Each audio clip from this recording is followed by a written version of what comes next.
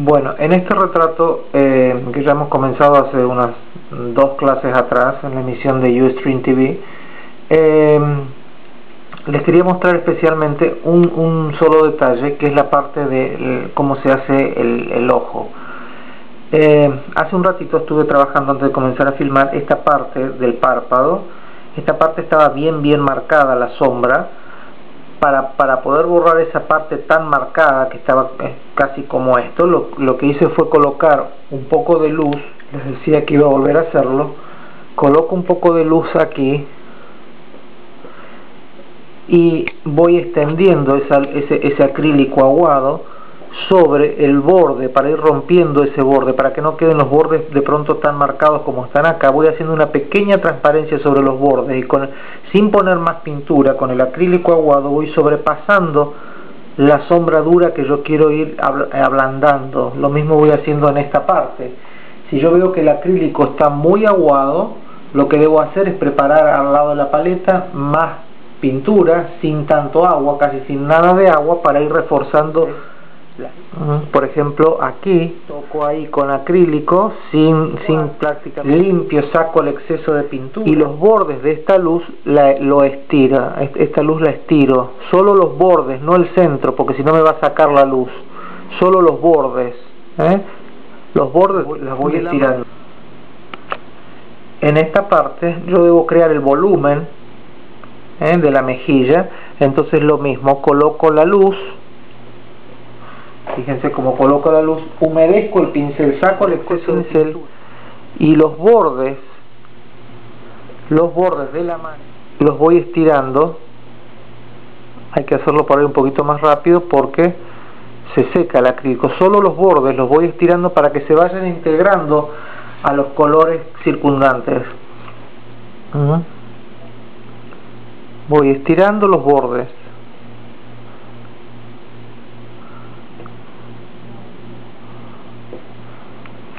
Yo veo que la diferencia entre la luz, por ejemplo, y las semisombras que hay a los alrededores, muy luz intermedia, por ejemplo, ahí, preparé un color rosado para que pase de una luz más amarillenta a un rosado y voy, y voy estirando hacia los costados tratando de lograr un pasar luces circundantes. ¿eh?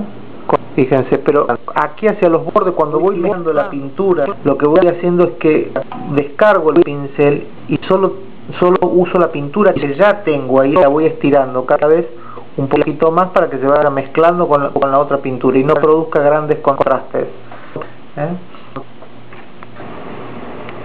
Lo mismo en esta parte, si ustedes se ven, aquí hay, hay un exceso de amarillo, porque fue los primeros, los colores más intensos que puse al principio cuando fui marcando el retrato. Entonces se recortan mucho esos amarillos, estos amarillos, por ejemplo, con los colores más apastelados que le estoy dando a la piel. Entonces ahora preparo un rosado liviano, muy liviano. Lo mismo aquí, fíjense el salto que hay aquí, aquí tengo que preparar más pintura para ir cubriendo esta zona. Eh, aquí hay una sombra, esta sombra, la sombra que produce la nariz, pero las sombras son más suaves.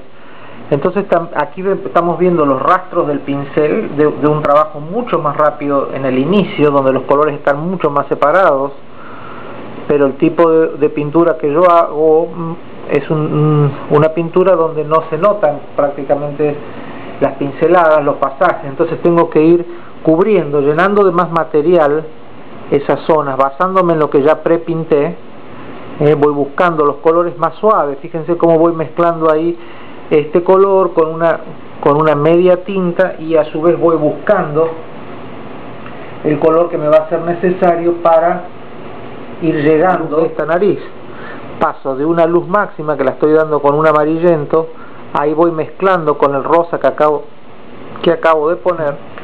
Si es necesario humedezco la tela, tengo un rociador a mi lado, hago así y rocío muy suavemente con, una, con un rociador, un spray, para que mantenga toda esta zona que estoy trabajando, la mantenga húmeda y no se me seque, para poder lograr mejor el, el pasaje.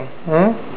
Si es necesario mezclo, dejo, dejo secar, no, no, no siempre conviene trabajarlo tanto, sino que lo dejo secar un ratito, cinco minutitos y después vuelvo. Porque ¿qué pasa? El acrílico cuando lo mojamos, por ejemplo yo estoy trabajando esta zona, lo mojo para poder estirar mejor el acrílico.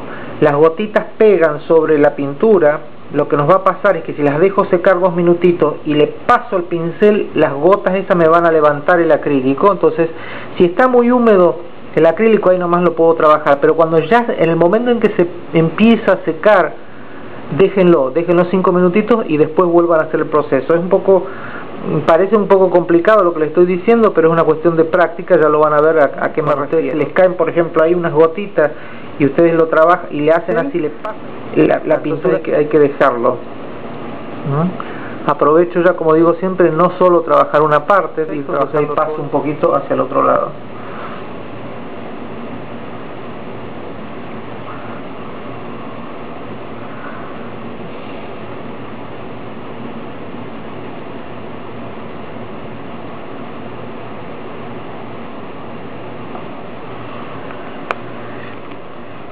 Fíjense aquí también esta sombra de pronto la tengo que estoy viendo en, mi referencia fotográfica es que debería darle un poquito más de espacio a esta parte de la nariz. Entonces ahora cuando estoy haciendo el pasaje creo ese espacio voy cubriendo.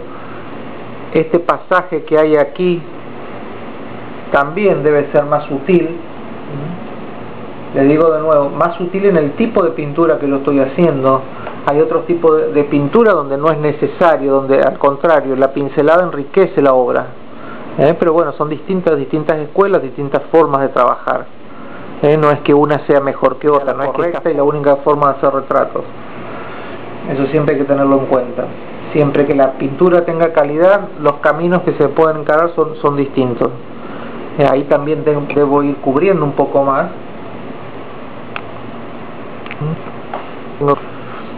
aquí tengo que ir creando esta sombra ahí al, color rosa lo subí un poquito más de tono le hice un rosa más fuerte para dar la sombra y le agregué si le pongo un rosa muy fuerte para este tipo de colores tan pastelados que tengo entonces que le pongo un poquito de tierra para poder correr una fuerza de ese rosa para disminuir ese rosa en la intensidad, en la fuerza, en la vibración que es lo que ese rosa.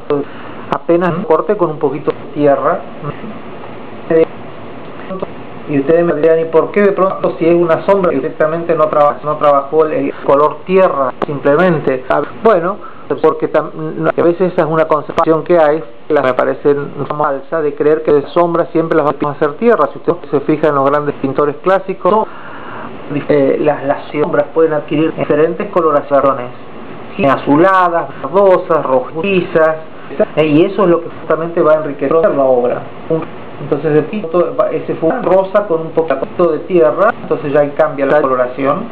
Si fuera necesario pudiese usar otros colores, ese color ahora lo oscurezco un poquitito más aún para ir formando aquí la ceja. Y que la ceja no sea sutil, porque es una niña, no puedo hacer una ceja excesivamente marcada, muy oscura, porque eso va a vegetar el retrato. ¿Eh? Entonces con el mismo color casi prácticamente de la sombra fíjense cómo se, se va creciendo el formato de las cejas sin hacer una cosa excesivamente llamativa. Como dije en la última emisión cuando corregí uno de los trabajos en caso de que pase el valor que nosotros preparemos un color y sea excesivamente fuerte dejo dos minutitos que se seque esa zona que estoy trabajando aclaro un poquito el color ese mismo color que estoy trabajando le puedo poner un poquitito de, blanco si es necesario ¿eh?